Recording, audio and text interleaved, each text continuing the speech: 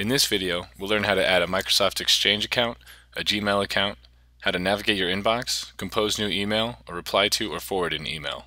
Today I'll be showing you how to set up an email account on your iPad. To get started, press the settings icon. On the left-hand side, tap on Mail, Contacts, and Calendars. To add an account, tap the Add Account button. You can add any type of mail account, but the one we'll demonstrate first is Microsoft Exchange. If you have an Exchange account through ASU, this is where you enter your email address. Oftentimes it's your first name dot last name at asu.edu.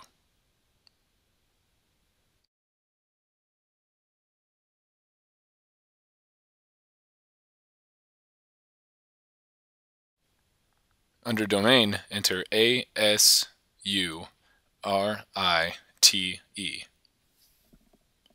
Username is your ASURITE username. Right here I'm going to blur out my password, but enter your ASURITE password and press Next in the top right corner.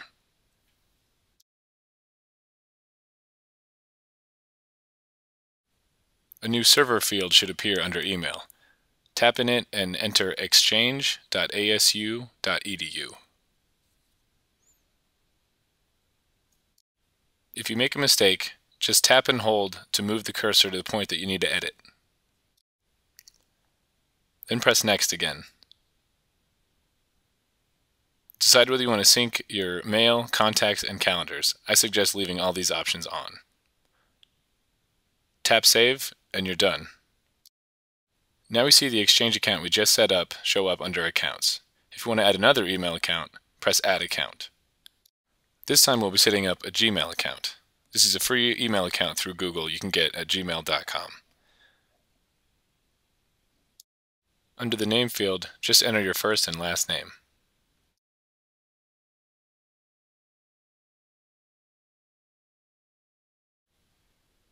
Under Address, enter your Gmail address. This is the email address that ends in at gmail.com.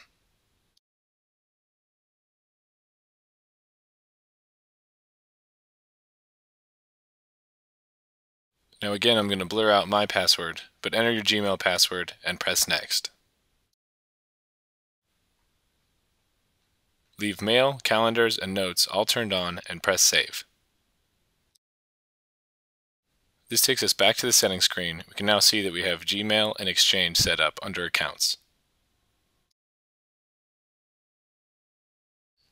Back at the home screen, we can now use the Mail icon to access your emails.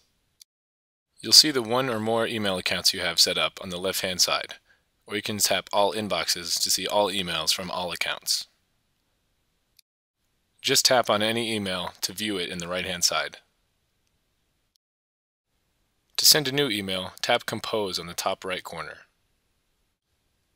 The arrow button next to Compose is where you go to reply to the current email or to forward the current email. Press the Home button to exit the email app and return to the home screen.